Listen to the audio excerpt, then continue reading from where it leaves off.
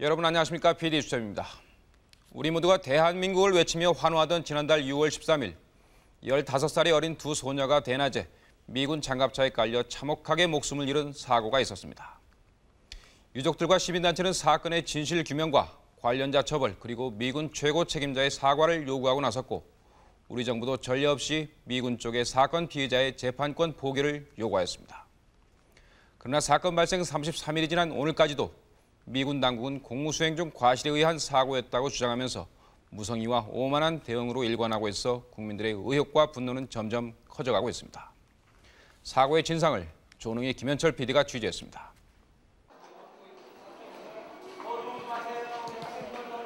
참아 보낼 수 없는 두 아이들을 마지막으로 떠나보내는 자리입니다. 미군 궤도 차량에 깔려 목숨을 잃은 효순이와 미선이 아직 어린 두 딸들을 앞세워야 하는 원통함에 가족들은 기막힌 통곡을 한없이 쏟아냅니다.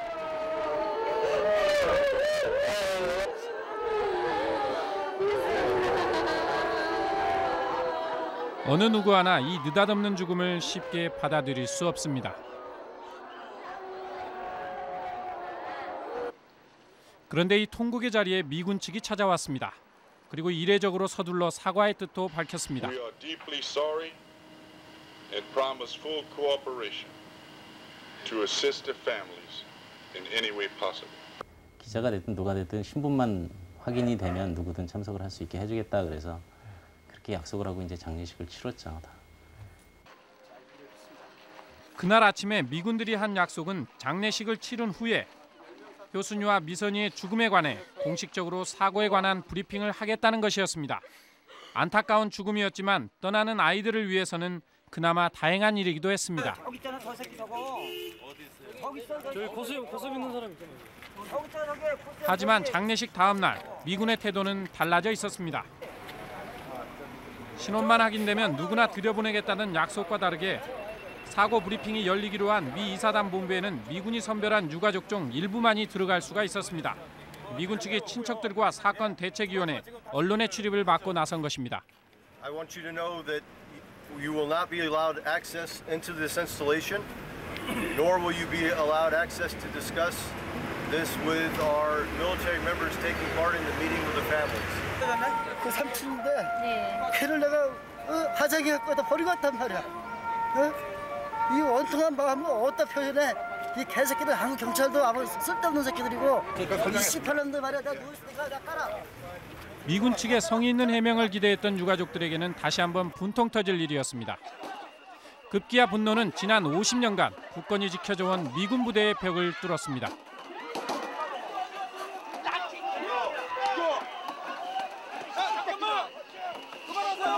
시위대 중 일부가 아예 미군 부대의 철조망을 끊어버렸던 것입니다. 두 여중생의 죽음 앞에는 미군이 밝히고 책임져야 할 감춰진 진실이 있기 때문이었습니다.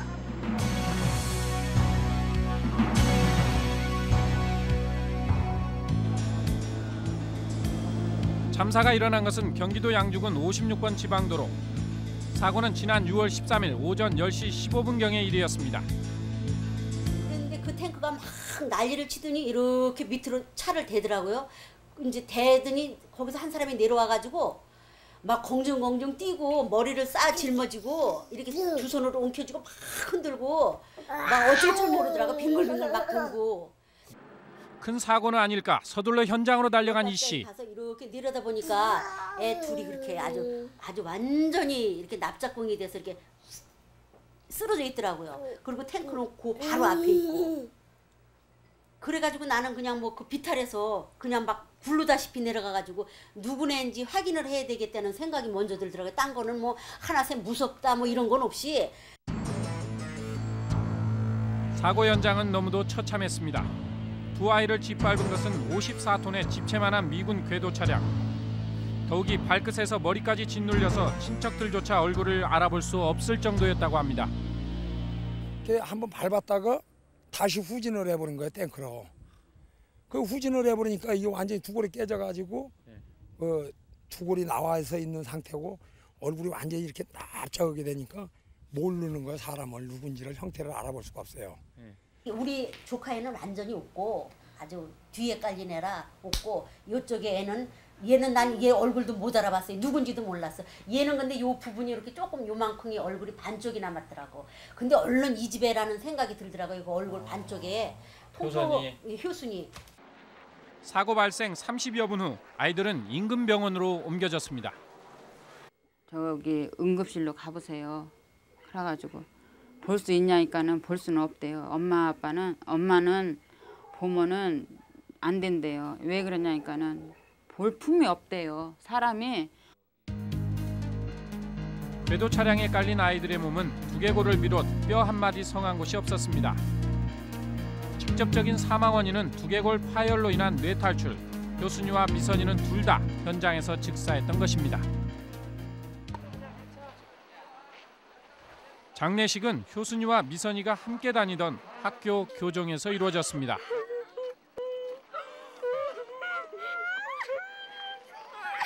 엊그제만 해도 같이 어울려 웃고 떠들던 친구들인데 이제 단 둘이서 이곳을 떠나야 하는 것입니다. 가. 잘 가야 된다. 야 차에 타래들 빨리 타 지금. 그런데 한달 한시에 세상을 떠나게 된 효순이와 미선이는 평소에도 참으로 각별한 사이였다고 합니다. 효순이와 미선이는 아주 어려서부터 아래 윗집에 살았습니다. 집안끼리도 아주 가까워서 어머니 아버지도 둘도 없는 친구에 언니들은 언니들대로 단짝. 유치원도 함께 다니고 초등학교 중학교도 함께 다녔습니다. 그날도 아이들은 특별한 계획이 있었다고 합니다. 뭐 친구들하고 이제 기- 둘이서 생일이 이제 저기니까 하나 가지고 사 가지고 그코 하나 꽂아놓고 먹는다고 그러더라고요. 그래서 그래라 그래 그랬지 그랬더니 뭐야 그날 저기 뭐 점심 먹고 노래방 가고 지 신발 사 신고 그리고 늦게 온다고 그랬거든요. 4시나 5시쯤에 생일 파티를 위해 집을 나선 효순이와 미선이는 지나다니는 차량들을 피해 일렬로 걷고 있었을 것입니다. 얼마 후 뒤쪽에서 오는 궤도 차량을 발견하고는 귀를 막고 걸어갑니다. 궤도 차량의 소음이 워낙 크기 때문이었을 것입니다. 이때까지는 평소와 별 다를 것이 없었습니다. 그런데 무슨 이유인지 다음 순간 궤도 차량이 아이들이 걷고 있던 갓길을 따라 달려왔다고 합니다. 결국 더 이상 피할 길 없는 아이들이 참사를 당했다는 것입니다. 사고의 원인을 밝히는 미군 측의 공식 브리핑은 사건 바로 다음 날인 14일부터 시작됐습니다.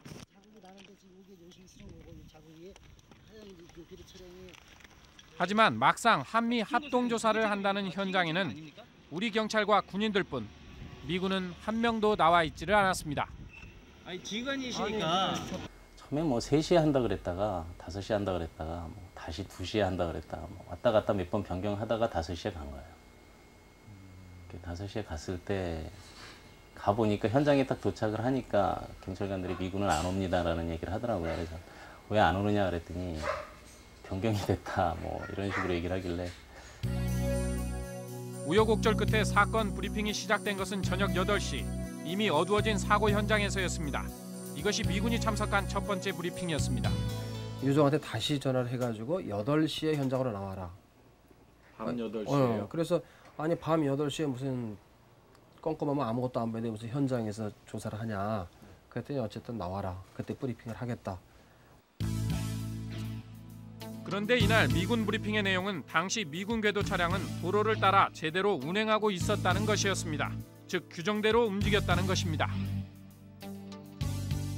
그 중앙선 침범하지 않고 예. 요 아스팔트 위로 쭉 자기네들은 규정대로 운행을 했다. 이런 거고 규정대로 운행했다고 하면서 자신들의 과실을 인정을 안 하니까 결국은 이거는 규정대로 운행했으면 보행자가 잘못이다라는 얘기로 되는 건데 그 하지만 그것은 전혀 근거도 없는 쓰라고 얼토당토하지 않은 얘기라고 합니다. 상태 이, 이 자리에 피가 있을 때 네. 막 쓸었어요. 네. 봐라, 니들이 어, 생각하는 거 말대로 하면은 애들이 이 안에 들어와서 있어야 되는데 네. 지금 밖에 아니냐. 봐라, 어. 혈흔이 여기 있는데 실제로 사고 직후 찍은 사진을 살펴보면 아이들은 도로 바깥쪽 갓길에 쓰러져 피를 흘렸던 것을 확인할 수 있습니다. 또한 그대로 후진했다는 미군 궤도 차량의 바퀴 역시 갓길까지 걸쳐져 있었습니다. 사고 현장인 56번 지방도로의 한 차선의 폭은 3m 34cm, 미군 궤도 차량의 차폭은 3m 67cm로 중앙선을 넘지 않는 한 갓길을 넘을 수밖에 없습니다. 결국 미군은 현장조차 제대로 파악하지 않았던 것입니다. 그 사건 개요나 그 재원도 모르는 사람이 와가지고 현장 그 브리핑 그 설명을 한다는 자체가 아주 우습더라고. 유가족들을 갖다 우롱하는 거고 조롱질하는 거밖에는 안 되더라고. 그래서 거기에서 내가 그 막 심한 소리를 하고 언성을 높여가지고 그 이제 현장 브리핑하는 거를 무산은 무산이 된 거지. 이제 화를 내고 막 그러니까.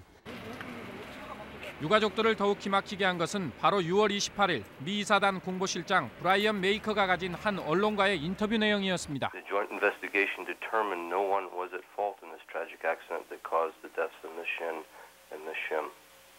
그러면 이 운전자는 지금 그 석방이 돼서 어, 그 조사를 받지 않고 어, 정상적인 그 영내 생활을 하고 있습니까? I, I, I believe I answered that, yes. The joint investigation determined no one to be at fault in this tragic accident. 그 참모나 누가 나왔을 적에는 부대 대변인으로 나온 거 아니에요. 부대 책임을 맡고 나온 사람들 아니에요. 근데 어떻게 말을 그렇게 바꿔요? 그러니까 미군 측에서 무슨 말을 해도 못 믿겠다는 거죠. 그 누구의 과실도 아니다라고 그러는 거에 대해서는 어떻게 생각하세요? 그럼 천지지변인가요, 그거는? 과실이 없으면 천지지변 아니에요. 사고 발생 6일째인 지난 19일 미군 측의 두 번째 공식 브리핑이 있었습니다. 이번에는 미이 사단장인 아너레이 장군까지 참석해서 유가족들에게 공식적으로 사과를 하기도 했습니다. 이날 브리핑에 따르면 사고 당일 미 이사단은 2개조로 나뉘어 대대전투력 측정을 위한 공격과 방어 훈련을 하고 있었다고 합니다. 미군 측이 말하는 사건 개요는 다음과 같았습니다. We believe this incident was a tragic accident. The driver had a limited view and could not see the right side of the roadway. The vehicle was traveling between 8 and 16 kilometers per hour. After going around the curve, the track commander of the AVLM saw the girls and attempted to warn the driver. However, the track commander was unable to warn the driver in time to prevent the accident. When the driver of the AVLM heard the track commander yell to stop, he immediately stopped the vehicle.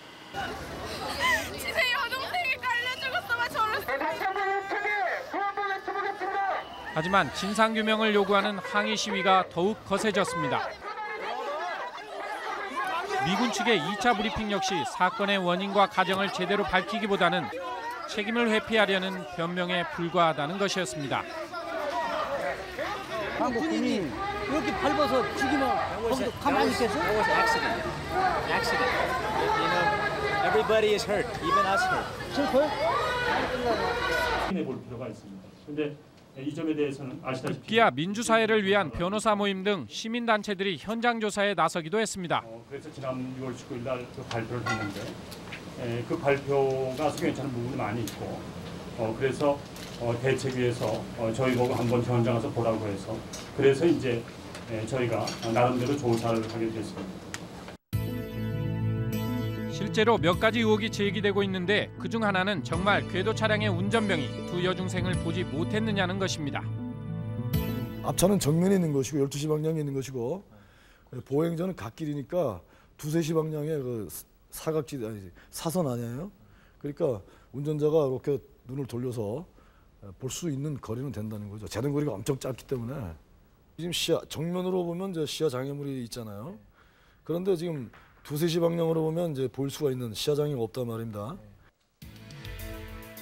사고가 난 궤도 차량 구조상 앞부분의 시야는 어느 정도 장애가 있을 수 있지만 운전자가 전방 주시만 하고 있었다면 오른쪽 옆으로 지나가는 두세 시 방향에서의 소녀들을 볼 수 있었다는 것입니다.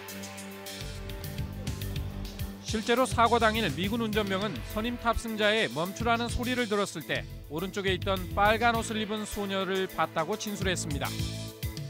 이 진술이 사실이라면 빨간 옷을 입은 미선이를 본 순간 운전자가 브레이크를 밟았다면 두 명 중 한 명은 살릴 수도 있지 않았을까. 제동볼이 제가 경험을 해봤는데 밟는 즉시 서요. 전차가 어 일단 간단하게 만약 얘로 해봅시다. 그러니까 얘가 이제 전차가 쭉 가는 거요. 딱 밟으면 전차가 이렇게 돼버려요. 제자리에서 울컥하고 승무원들은 부딪히죠. 그 바로 욕 나오는 거예요. 위에서는 똑바로 운전 못하냐고. 어, 그러니까 밟은 즉시 그 온단 말이죠. 예. 속도의 관계에서는 또 거의 밀리지 않아요. 아무리 아무리 밟아도 밟는 즉시 서요. 이런 논란이 제기되고 있는데도 미군 측이 제공하는 것은 이 단 한 장의 사진뿐. 운전병은 아이들을 못 봤다는 주장만을 계속 되풀이하고 있습니다. 우리가 일관되게 주장하는 게 그런지 안 그런지 그 차량 갖다 놓고 우리하고 니네하고 공동 진상조사단 꾸려서 같이 하자.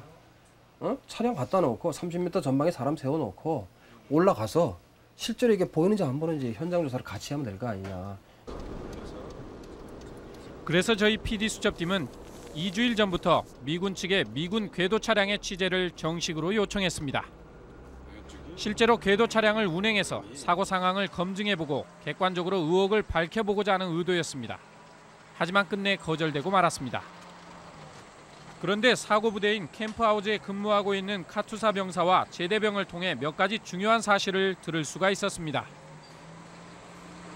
그게 한 몇 대 정도 있습니까? 아 중대당 한 두 대 정도씩 있으니까요. 다 대대 합치면 여섯 대 정도 여덟 대 정도. 그럼 작전 나갈 때마다 다녀요? 그렇진 않고요. 그 장비가 되게 진짜 노후된 장비거든요. 몇십 년 된 장비라 1년 치면은 진짜 굴러다닐 때보다 수리받고 있을 시간이 더 많은 차예요. 예, 그래서 큰맘 먹고 훈련을 가지고 나가도 훈련장에 다 못 가고 중간에 고장나 다시 끌고 들어와서 그냥 놀고 그런 차인데 그렇게 됐더라고요. 그런 경우가 많았어요. 근무하시는 동안. 그죠? 그 차 같은 경우는 거의 끌고 다닐 일이 없었어요. 항상 고장이 많이 나니까. 이번에 사고를 낸 미군 AVLM은 부교 운반용 궤도 차량입니다. 임시로 다리를 놓을 때 쓰는 지원용 차량으로 차폭만도 3.67m. 2차선 지방도로를 다니다 보면 어쩔 수 없이 중앙선이나 갓길을 침범해서 다닐 수밖에 없다는 것입니다. 임시 가교를 운반하기 때문에 무게도 54톤에 이릅니다. 그렇다면 과연 미군 궤도 차량은 그들의 주장대로 8에서 16km의 속도로 운행했을까? 미 이사단 공병대대 출신의 카투자 전역병 신지웅 씨. 바퀴 달린 거하고 트랙 달린 거하고 제한 속도가 다 다르거든요.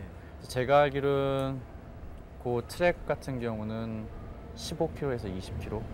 그러니까 처음에는 그 속도로 가는 거에 치였다는 게 솔직히 이해가 안 되더라고요. 처음에는. 그 속도는 어느 정도 느낌입니까? 15에서 20이면은 사람이 열심히 뛰어가면 따라가요. 한꺼번에 그렇게 치일 수 있나요? 그 정도 속도면? 그거는 그럴 수가 없어요.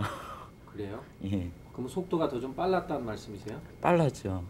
막 1, 1m라고 하면은 15km면은 장갑차가 아무리 승합차는 진짜 천천히 가는 거거든요. 그 사람이 뭐 그 조종수가 하, 뭐 하사급 되는 사람 아니었나요? 네, 병장. 병장이면은 그만큼 조종을 많이 했다는 얘기 아니에요.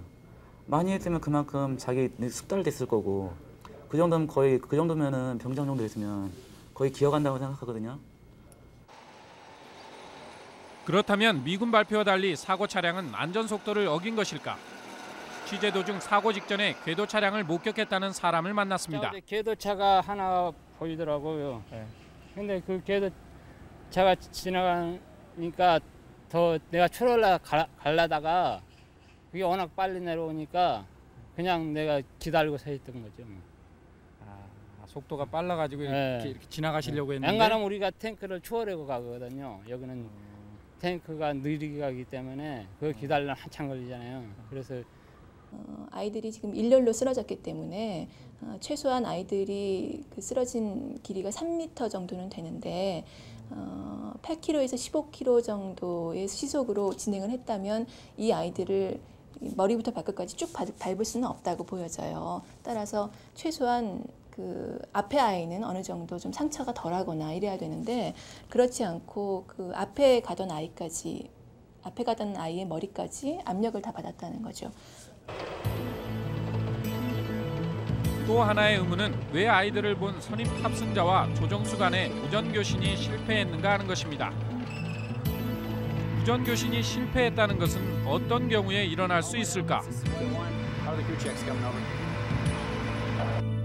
헬멧을 안 썼거나 무전에 이상이 있었거나 둘 중에 하나죠. 그것도 엄청난 과실이 되는 거죠.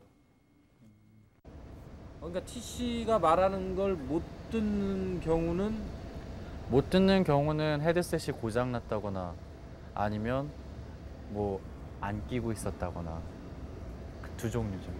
그 외에는 못 들을 수가 없는 겁니까? 예. The driver did not hear.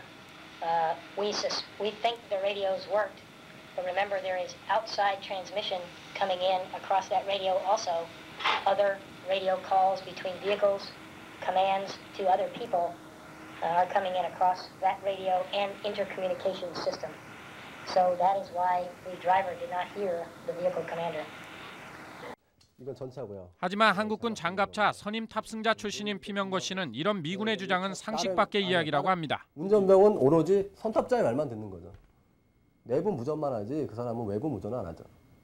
그러면 그렇게 한다는 건 미군만의 특징이라고 생각되세요? 아니면 그건 있을 수 없는 있을 수 없는 일이죠. 그래요? 만약에 이게 전시 상황이라고 생각을 하게 되면은 진짜 뭐 막말로 적군이 앞에 있는데 운전병이 못 봤어요. 근데 여기서 긴급하게 뭐 어떤 상황 이치를 내려야 되는데 무전이 안 된다고 생각을 해보세요. 그럼 말도 안 되는 거죠. 과연 무엇이 진실일까?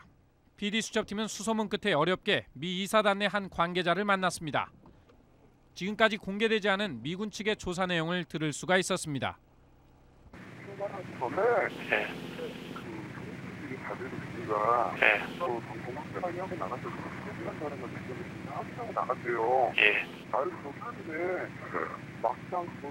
해보니까 그래도 안 들리더래요. 아, 그럼 통신기 문제가 있었단 말이에요? 예, 아, 미리 그러니까 장비 점검을 안 했다? 안한 건 아니고 그렇게 그렇게 하는 말이 만약에 성분을 안 주면 안 나가야 된대요. 아, 상식적으로. 그렇죠. 그래서 보니까 좀 안 들리더라. 뭐만 안 들렸대요. 아, 예. 지난 7월 5일 미 이사단은 다시 한번 유례없는 해결 의지를 보였습니다. 사고 운전병과 선임 탑승자 2명을 군사법원에 과실치사 혐의로 기소한 것입니다. 일반적인 과실이라고 보기에는 상당히 납득하기 어려운 정도의 매우 위험한 상황을 야기한 거라고 볼 수 있고요. 따라서 이런 것이 일시적인 것이었는지 이전에도 반복되었는지 과연 지휘 체계상의 어, 지휘 감독자로서는 어떤 과실이 있는지 이런 문제가 다 같이 밝혀져야 될 것으로 생각됩니다. 사고 당일 미군은 한국군과 달리 사고 위험이 있는 지점에 차량 통제 병력을 배치하는 안전 조치를 취하지 않았다는 것입니다. 또한 미군은 차량이 통과하는 마을에 안전 대책을 마련하도록 훈련 사실을 미리 알리지도 않았습니다. 결국 주민들의 안전을 전혀 고려하지 않은 훈련 자체를 지적할 수 있을 것입니다. 이 처참한 사고를 막을 수 있었던 마지막 안전 장치는 바로 사고 차량 행렬을 선도한 컨보이 차량이었습니다. 과연 그렇다면 사고 차량 운전자와 선임 탑승자 이외에 지휘 체계상의 잘못은 없었을까? 컨보이에 반드시 뭐 중대장급이나 이런 사람들이 탑승을 해서 인솔을 하게 돼 있고요. 그리고 아, 장애물, 그러니까 위험한 장애물이 발생하거나 앞에서 무슨 상황이 벌어졌을 때 신속하게 뒤쪽으로 무전을 해서 알려줘서 뒤를 통제하게 되는 거죠. 사람이 지나가는데 뭐 위험한 상황이 아니면 뭐 굳이 알려줄 필요가 없겠죠. 하지만 지금 상황 같이 갓길로와 여학생들 두 명이서 가고 있었으면 이건 반드시 콘보이 차량이 무전으로 알려줬어야 되는 상황이고요. 그러나 무엇보다 가장 큰 책임은 이날의 훈련 계획 자체에 있었습니다. 궤도 차량을 포함한 7대의 차량 행렬이 사고 지점을 향해 오르고 있을 때 반대편에서는 5대의 브래들리 장갑차 행렬이 내려오고 있었던 것입니다. 그렇죠. 여지껏까지 탱크가 저 이렇게 큰 탱크가 교차하는 적은 없었지요. 한 차선만 갔지. 아까 양쪽에서 이렇게 그러니 마주- 마주오는 법은 없었어요. 여지껏 살아도데 그런 건한 번도 못 봤어요. 요번 같은 경우는 진짜 내 거기서 일하면서도 세상에 저렇게 탱크가 큰 탱크가 마주오나 시- 그런 생각을 했으니까 여지껏 그런 적은 한 번도 없었거든요. 결국 사고 당일 두 여중생을 가운데 두고 거대한 전차 두 대가 달려왔고 한 1m를 앞에 두고 멈춰 섰다는 것입니다. 이게 그러면 이례적인 일이네요. 예, 상당히 이례적인 일이에요. 교행을 시도했다는 자체가. 예. 아니 그냥 조그만 장갑 차에다가 브레들려면 모르겠는데 ABLB 같이 덩치가 큰 거 같은 경우는 벅찰 텐데. 그러니까 1m 앞까지 왔다는 거는 지나가려고 시, 같이 맞물려서 지나가려고 시도를 했다는 얘기죠. 멈춰서 지나갈 것 같으면 2m 앞까지 와서 멈추진 않았겠죠. 한 차선을 다 차지하는 장갑차. 한 도로폭보다 넓은 궤도 차량. 두 차량이 어떻게 좁은 국도에서 마주치게 된 것일까? 만약에 그런 상황이 부득이하게 발생이 됐다고 하면은 이 교량 전차가 아니면 장갑차가 먼저 두 차 중에 하나가 먼저 멈춘 다음에 하나를 보내고 다음 하나가 이동을 해야죠. 그걸 뭐 교행해서 그렇게 했다는 거는 좀 납득이 좀 안 가네요. 그것도 convoy 차량의 몫입니까? 그렇죠. 그것도 convoy 차량이 몫이죠. 왜냐하면 convoy 차량이 마주오는 장갑차를 먼저 발견하니까 그건 당연히 convoy 차량의 몫이죠. 언덕을 올라가기 위해 출력을 높였을 궤도 차량은 커브길을 돌면서 마주오던 브래들리 장갑차를 보았을 것입니다. 딱 커브를 틀고 딱 일단 어머님들 전방은 보겠죠. 그래서 브래들리가 딱 나타났어요. 일단 아 피해야 되겠다. 우측이 안 보이니까 피해야 되겠다. 쭉 피한 거예요 그냥 그 상황에서 갓길로 가면서 약간 자 본인도 놀라면서 급조한 상태에서 쭉 간 거죠. 이게 우리는 지금 땡끝끼리 부딪힐까봐 자국민 보호국에서 우리 애들을 치지 않았냐 이런 의미로 유가족들에서 생각하고 있는 거죠. 이번 사건은 그 차량 탑승자들 어떤 그런 개인의 과실이 아니다. 이번 사건은 작전상에도 분명히 문제가 있었고 따라서 지휘 체계에 대한 책임을 물어야 하는데 지금 미군 쪽이 그 두 명만 기소한다고 하는 것은 어, 결국 그런 지휘 체계에 대한 책임을 묻고 어떤 근본적인 진상을 밝히고자 하는 의지가 없다라고 하는 거 이제 그걸 다시 한번 보여준 거라고 보고 어, 따라서 이제 그런 걸 통해서 어떻게든지 그냥 일단 여론을 좀 무마시키려는 그런 모습이 아닌가라고 생각을 해요. 네, 결국 이번 사고는 우발적인 사고가 아니라 그동안 주민들의 생명과 안전을 무시하고 훈련해온 미군들의 오랜 관행이 낳은 예고된 비극이 아닌가 생각합니다. 김현철 PD, 이 제2의 효순이와 미선이를 막기 위해서라도 어, 기소된 두 명 외에 또 다른 지휘체계의 잘못도 규명돼야 하지 않을까 싶은데 어떻습니까? 예, 먼저 지휘 체계의 잘잘못을 가리기 위해서는 지휘 체계에 있는 군인들을 불러서 조사할 수 있어야 하고 잘못이 드러나면 처벌할 수 있어야 합니다. 그래서 대책위원회에서는 미군 6명에 대해 출국 금지 요청을 의정부 지방검찰청에 했습니다. 그 출국 금지 요청이 받아들여지지 않으면 임기가 끝나는 대로 미군 6명은 한국을 언제든지 떠날 수 있게 됩니다. 실제로 사고부대 부대장은 지난 6월 말에 임기가 끝나 지금 어디에 있는지 그 행방을 알 수조차 없습니다. 네, 이 지금까지 태도를 볼 때 미국 쪽에서 적극적으로 진실을 밝히리라고 기대하기는 어렵지 않겠습니까? 이 그랬을 때 우리가 먼저 어, 적극적으로 진실을 밝힐 방법은 없는지요? 네, 물론 있습니다. 아, 사실 처음 사건을 신고받고 현장에 나가 초동 수사를 할 때부터 아, 미군 운전병들에 대해 보다 적극적인 수사를 펼쳤더라면 아, 미군에 의해 사건이 왜곡되고 의혹이 부풀려지는 것을 막을 수도 있었을 것입니다. 아, 공무 중에 일어난 미군 범죄 수사 무엇이 문제인지 살펴봤습니다. 사고 조사를 담당했던 의정부 경찰서 교통사고 조사반을 찾아가 봤습니다.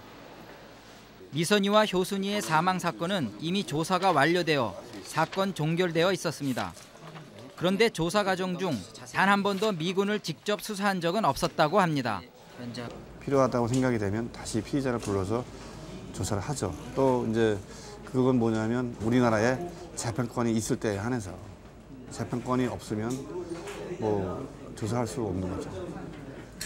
그러면 네. 경찰에서는 그 사고 당사자인 예, 미군을 불러서 조사하지 한 적은 없단 말이군요. 예, 그렇죠. 단지 우리 경찰이 확보한 것은 미군 헌병대로부터 넘겨받은 진술서 각 한 장뿐. 이것이 두 여중생을 죽게 한 미군 조종수에 대한 조사의 전부였습니다. 당시 무전기 그 둘 사이에 뭐 무전기 사이가 고장 났다거나 뭐 이런 건 조사한 적은 없으시죠? 그거는 확인을 못 했어요. 어, 미군 장비를 저희가 사- 사용할 줄도 모르고 진술서에는 뭐 저 그런 내용은 없습니다.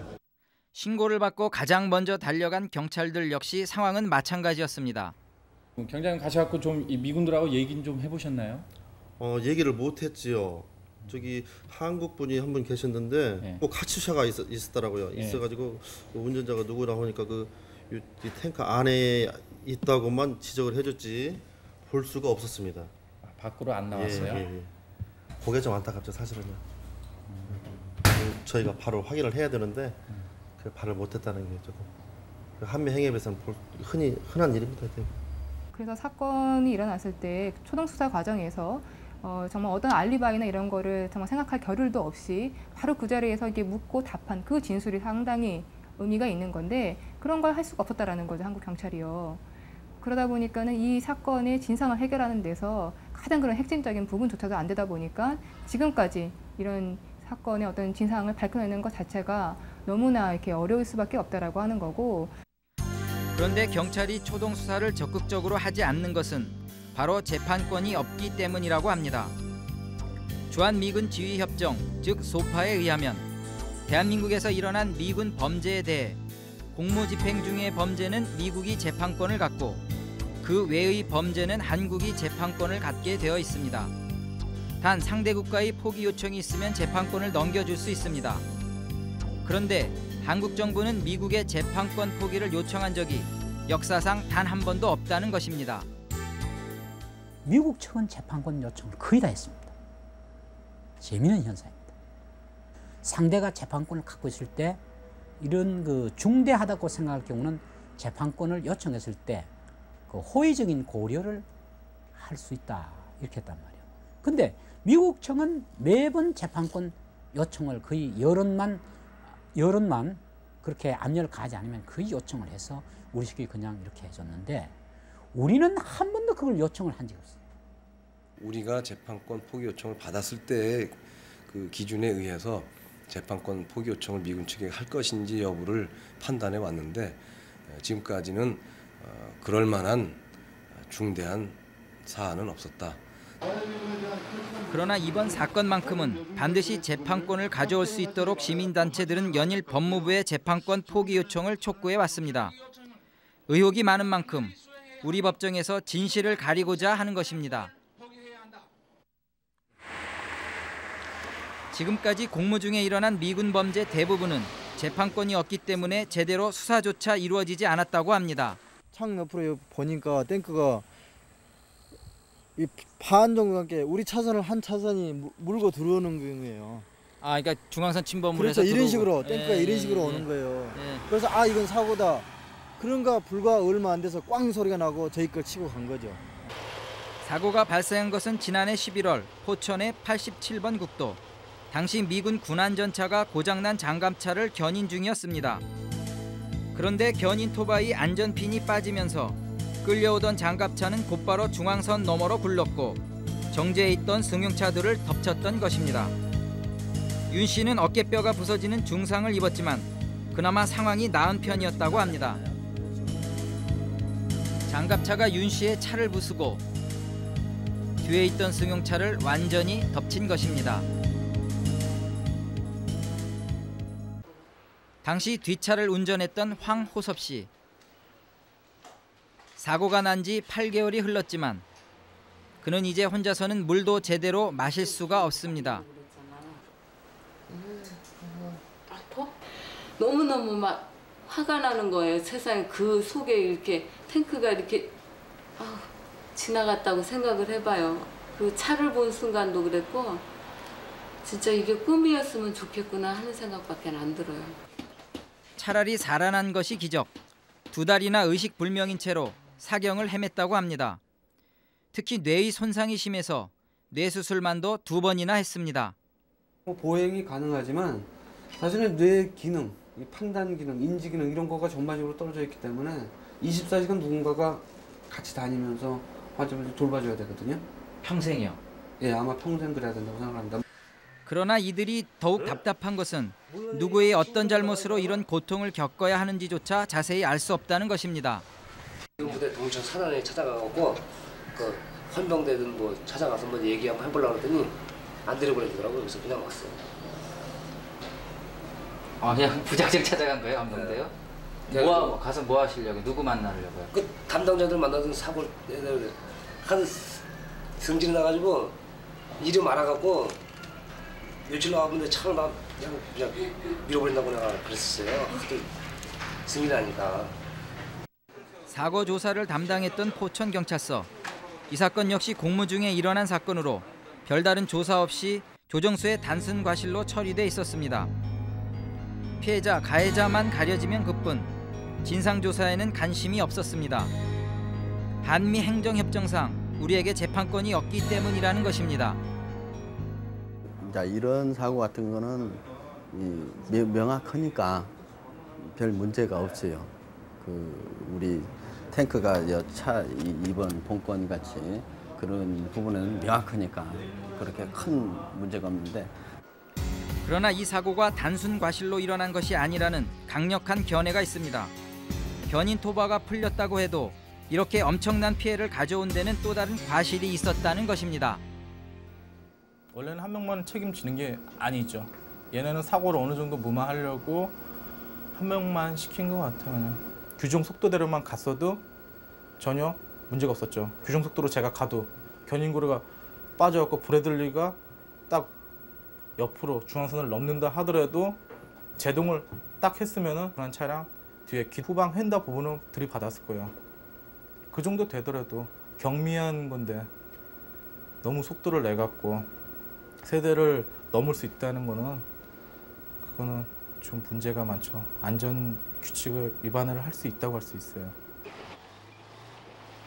만약 사고 조사가 제대로 됐다면 군안 전차의 조종수에게는 안전핀을 제대로 점검하지 않은 것과 함께 과속의 책임을 물어야 할 것입니다.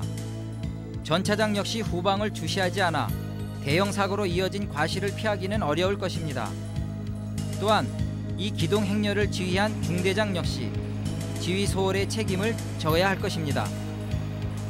그러나 이 사건에 대한 적극적인 조사는 우리나라 그 어디에서도 제대로 이루어지지 않았습니다. 과실 여부를 떠나서 예. 그거는 미군 측에서 예. 공무집행 증명서를 제출했기 때문에 예. 설사 가실이 가실이 있는 거예요, 맞죠? 가, 예. 가실이 있다 하더라도 대한민국에 관할 건이 없다는 거예요.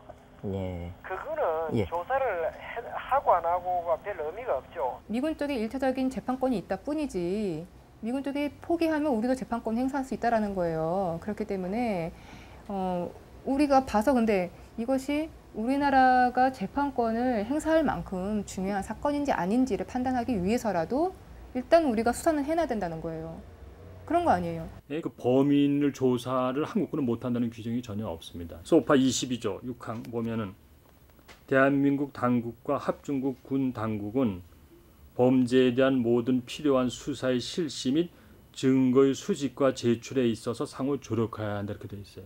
어차피 재판권이 없게 되면 수사를 아무리 잘하더라도 결국 그 쓸모가 없으니까 할 필요가 없다는 그런 건데 그건 잘못됐다는 거죠. 우리가 미군 범죄에 관해 적극적으로 수사해야 하는 이유는 또 있습니다. 더 이상 억울한 피해자가 나오지 않도록 사고의 원인을 밝히고 그에 대한 안전 대책을 수립하도록 미군 측에 요구할 수 있기 때문입니다. 장갑차 견인 사고 이후 미군 당사자들은 어떻게 되었을까 알아보았습니다. 그 사고 낸 게 되게 크게 그 부대에 대해서 이슈가 되지도 않았고 중대장이 뭐 승진하는데 문제가 될 거라든가 뭐 그런 말은 전혀 없었어요. 그런 거는 문제 안 될 거라 그랬었어요. 미군의 재판권 행사 결과 조종수에 대한 서면 경고로 사건은 마무리되었습니다. 연속되는 범죄가 같은 사단에서 일어나느냐? 이것은 미군들이 이런 범죄를 저질러도 이 소파 규정이 이 자기들에게 유리하게 되기 때문에 자기들에게 처벌이 그렇게 두렵지 않는다는 이런 어떤 그 범죄 불감증 때문에 일어난 게 아니냐? 네, 단지 서면 경고만 받았다는 것은 실제적으로 처벌을 받지 않았다는 것이나 마찬가지인데 이렇게 잘못을 해놓고도 처벌을 받지 않는다면 안전사고의 재발 방지가 어렵지 않겠습니까? 네, 그렇습니다. 아, 그러나 미국만을 탓할 수도 없는 것이 사고가 나서 한국인 피해자가 생겨도 재판권 포기 요청 한 번 안 하고 또 그것을 이유로 수사도 하지 않는데 미군 스스로 자국민을 강하게 처벌하리라고 기대하는 것은 매우 어렵지 않을까 생각됩니다. 네, 그러면 결국 그 피해는 미군 기지의 인근 주민들에게 돌아가는 것이 되는데요. 예, 그렇습니다. 그래서 아예 주민 스스로 아, 미군 전체에 맞서 생존권을 지키고 있는 마을이 있어서 찾아가 보았습니다.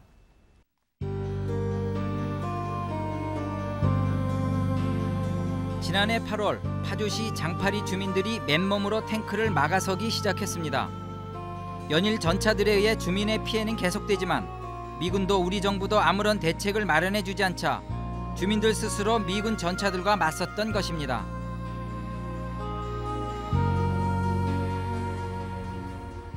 파주시 장파리는 마을 가운데 길이 미군 훈련장으로 향하는 길목에 있었습니다. 연일 다니는 탱크와 장갑차로 도로는 온통 금이가 있는 지경이었습니다. 거기서 사고 안 났으면 여기서 탱크를 안 막았으면 여기 우리, 동네 사람이 그렇게 참, 참사를 당했을지도 모르잖아요. 낮잠 못 자요. 집집마다 벽에도 금이 안 간 곳이 없을 정도입니다. 전차들이 지나다니는 진동 때문인데 피해는 그뿐만이 아니라고 합니다. 아유 말도 못해. 이게 탱크가 막 밤이구나 되고 댕기면은 이게 집이 다 금이 다 갔어. 그리고 또이 소들이 그냥 막 뛰어댕기면 그냥 저거야 새끼가 떨어지고 그랬어. 한 번 훈련 때마다 바로 집 앞으로 드나드는 전차들이 수십여 대. 그 진동과 소음 때문에 아예 생활이 불가능할 때도 많다는 것입니다. 1년 내내 애써 농사지은 논과 밭작물을 한순간에 짓밟아 놓는 경우도 적지 않았습니다. 심지어 지난 2000년 가을에는 추수에서 널어놓은 벼 720여 가마를 탱크로 깔아뭉개는 사고도 있었습니다. 1년 내에 고생해가 태풍 만나서 이거 진짜 쓰러진 배 임나체 가면서 이렇게 해 만드는 거예요. 우리 농민을 농, 농민을 무시하는 처사가 아니고 이게 뭐냐고. 화가 난 농민들은 미군에게 격렬히 항의했지만 이 마을에선 같은 일이 세 번이나 일어났습니다. 그래 그게 밤에 2시쯤 돼서 이놈들이 막 지나간 거예요. 밤에 그냥.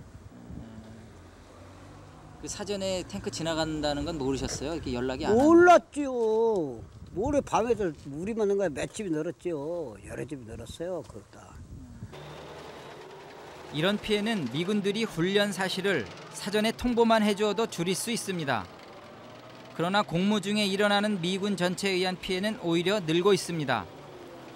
미군들은 여전히 주민들에게 아무런 통보나 협조를 구하지 않고 있다고 합니다. 일로 탱크가 이렇게 다니는 거죠? 이렇게 해서요. 그 탱크가 많이 지나다닌다는 거를 통보를 받으셨냐고요. 에이 그런 거 없죠. 그 그냥 아무 통보 없이 그 수십 대가 여기 지나가게 됐단 말이죠. 예. 또 하루 이틀도 아니고 계속 다니면은 뭐 한 10여일이고 뭐 보름이고 계속 다니니까 사건이 터진 건 지난해 8월 13일 새벽 미군 전차 30여 대가 지축을 울리며 장파리 마을 항복판을 지나기 시작했습니다. 주민들이 더 이상은 참을 수가 없었다고 합니다. 밤에 새벽 2시, 3시 아니면 새벽 한 6시 그 시간대에 많이 댕긴다고 그래서 자다 가고 집이 막 울리고 그러니까 보통 50대, 60대, 7, 80대가 나간단 말이에요. 또 들어올 때 새벽에 그렇게 들어와요. 잠을 못 자고 밤에 그러니까 우린 도저히 이래서 못 살겠다. 딴 데 돌아다니라. 해가지고 막은 거죠. 집채만한 탱크 앞을 맨몸으로 막아섰던 주민들. 더 이상 미군 전차에게 안방을 내줄 수 없는 일이었다고 합니다. 그 새벽부터 4일 연속 미군 전차와 대치하였고 결국 미군들이 물러섰습니다. 안 온다는 무슨 약속을 받으셨습니까? 그렇죠. 미군 애들이 궤도 차량은 안 다니마 그리고 미 이사단에서 아주 약속을 했어요. 문서로는 양- 약속을 했고 그 약속을 뭐 철- 철저히 관찰하는 거죠 지금. 지도에도 나와 있는 주거 밀집 지역 장파리 마을 한복판을 무시로 드나들던 미군 전차들은 그 약간 좁고 불편하지만 인적이 드문 길로 돌아다니고 있습니다. 그러나 언제까지 주민들의 피해를 담보로 미군 문제를 해결할 수는 없는 것입니다. 그런 그 갈등적인 요소를 줄이면서 그러면서 어차피 미군이 현재 있는 이상은 서로 뭔가 이익을 보는 게 어, 뭐가 있느냐 그 지역 주민이나 또는 그 자치단체의 장이라든가 이런 데 대해서 미군이 이제 미리 그런 그 어, 작전이 이루어지고 있어서 그거에 대한 협조를 구하고 동시에 에, 그 미군도 안전하게 하는 어떤 양적인 그런 게 있는 거죠. 작년 6월 미국이 주둔하는 전국 15개 지역의 지방자치단체장들이 모여 협의회를 만들고 미군에 의한 주민 피해를 해결하기 위한 특별법 제정을 추진하기로 했습니다. 소파를 보완하는 이 법은 많은 의원들의 지지 속에 국회에 제출되었습니다. 이 특별법에 따르면 주민들이 미군들의 불법 행위에 의해 피해를 입을 경우 지자체와 미군이 공동으로 조사할 수 있는 심의위원회를 두고 소속 부대장까지 조사에 협조하도록 요청한다는 것입니다. 또 각종 사고의 사전 예방을 위해 주한미군에 대하여 대한민국의 법령을 교육할 수 있다는 것들이 포함되어 있습니다. 그런데 이 특별법은 9개월이 지난 지금도 기약 없이 국회 행정자치위원회에서 계류 중이라고 합니다. 그게 아직 정부 쪽에서 의견이 안 왔다. 뭐 일부는 거부한다. 이래가지고 그걸 그 의견을 보내주지 않고 있는 거예요. 우리 정부가 좀 더 강력하게 밀어붙이면은 당연히 이 법은 뭐 통과될 수 있는 것 아닌가 싶은데 문제는 정부가 얼만큼 적극적으로 협조를 해주냐에 달려 있다 이렇게 보고 있는 겁니다. 네, 벌써 미군 전차에 의한 여중생 사망 사건이 발생한 지도 한 달이 지났습니다. 지난 11일 법무부가 한미 행정협정 이후에 최초로 미국 측에 재판권 포기 요청을 한 것으로 아는데 해결의 실마리가 보입니까? 뭐 꼭 그렇다고 말씀드릴 수는 없습니다. 아, 이제 공은 미국 측으로 넘어갔고 미국이 어떤 대답을 하느냐에 따라 상황은 달라질 것입니다. 여중생 사망 사건에 대해서 미군 측에 재판권 포기 요청을 하기로 결정을 했고 포기 요청서를 미군 당국에 송부했습니다. 그날 의정부 지청에 출두했던 미군은 초상권과 신변의 위협을 이유로 한 시간 만에 돌아갔습니다.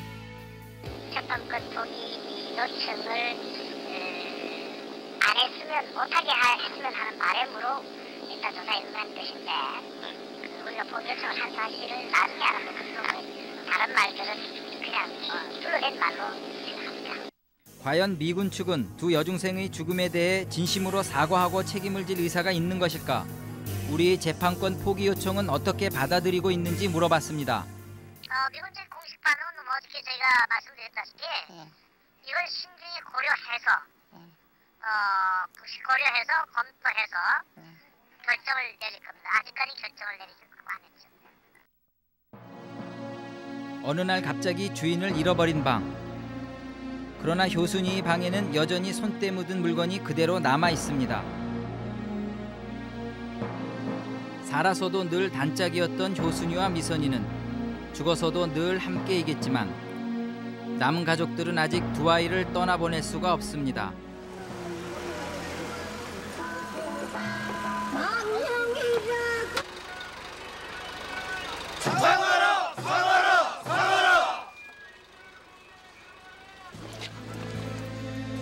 자식은 죽으면 가슴에 묻는다는데 이 한 맺힌 가슴에 어떻게 그 꽃 같은 딸들을 묻을지 이 눈물에 이제 미국이 진실로 대답해야 할 것입니다. 네, 미군이 이 땅에 머무르는 것은 우리의 생명과 재산을 지키는 데 도움을 주기 위해서라고 말하고 있습니다. 그러나 거듭되는 미군 범죄와 그 처리 과정을 지켜보는 우리 국민들의 마음은 여간 착잡한 게 아닙니다. 기억 속에 고마움마저 사라지지 않도록 주한미군은 점령군 같은 오만이 아니라 주둔군으로서의 예의와 금도를 지켜야 할 것입니다. 또한 우리 정부도 자국민이 귀중한 생명을 잃어도 항의조차 제대로 못하는 슬픈 대한민국이 되지 않도록 따질 건 따지고 요구할 건 요구할 줄 아는 당당한 모습을 보여주길 바랍니다. 여하튼 이번 사건의 재판권을 넘겨받아 사고의 진실을 규명하고 관련자들의 엄중한 문책과 더불어 미군 최고 책임자의 진심 어린 사과가 뒤따라야 할 것입니다. 오늘 PD수첩 여기서 마칩니다.